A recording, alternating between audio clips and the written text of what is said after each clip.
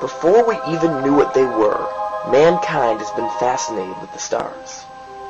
There is not a man alive who has not, at some point, looked up to the night sky and wondered, are we really alone? Although we may never know the answer in our lifetimes, or perhaps because we may never know the answer, Hollywood has long been fascinated with the question. And over the years, numerous movies have presented many different versions of what visitors from another planet might look like. Sometimes friendly. E.T.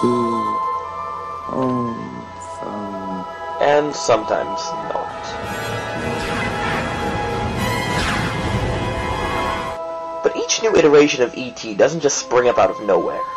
As with any Hollywood construct, the writers require inspiration. And since we don't actually know what aliens look like or how they'd act, the writers for these movies are forced to draw their inspiration from the world around us. It is this tiny fact that allows us to use Hollywood's portrayal of aliens as a glimpse into America's cultural psyche. Take, for example, the 1956 movie Invasion of the Body Snatchers. In this classic film, a local doctor encounters a rash of patients accusing their loved ones of being imposters. As it turns out, the townspeople are in fact being replaced by perfect physical duplicates, grown from plant-like alien pods in an attempt to overtake the Earth. With the film being released in the middle of the Second Red Scare, it has long been viewed as a metaphor for McCarthyism. People turning into characterless doubles when they fall asleep represents the dangers America faced by turning a blind eye to communism. Ironically, the film's lead actor is Kevin McCarthy, no relation to Joe.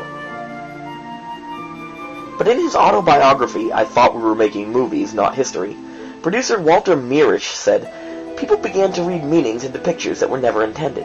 From personal knowledge, none of us saw it as anything other than a thriller, pure and simple.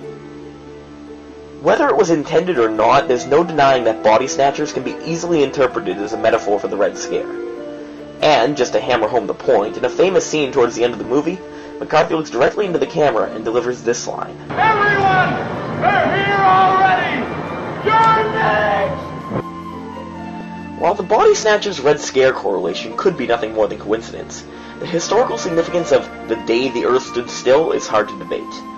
This 1951 sci-fi classic is about a humanoid alien named Klaatu, who has come to Earth to deliver a warning. Humans must change their ways, or our own actions will destroy the planet. At the time the film was released, the planet was still reeling from the effects of World War II. The bombings of Hiroshima and Nagasaki were fresh in people's minds, and the whole world was living in fear that an atomic bomb could be dropped on them at any moment. So it comes as little surprise when Klaatu explains that our safety is threatened by our own atomic weaponry. So long as you were limited to fighting among yourselves with your primitive tanks and aircraft, we were unconcerned. But soon one of your nations will apply atomic energy to spaceships.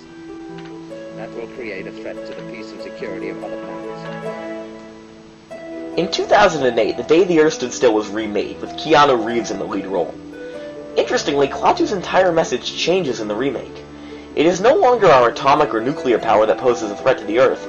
Our very existence is causing the Earth to die. If the Earth dies, you die. If the human race dies, the Earth survives. This drastic shift in moral from the original film to the remake is clear evidence of the role society plays in influencing movies. As times change, so do our attitudes. We are no longer scared of being bombed. Instead, the pressing issue in recent years is the role we're playing on our precious planet. Never has this been more relevant than in James Cameron's 2009 epic Avatar.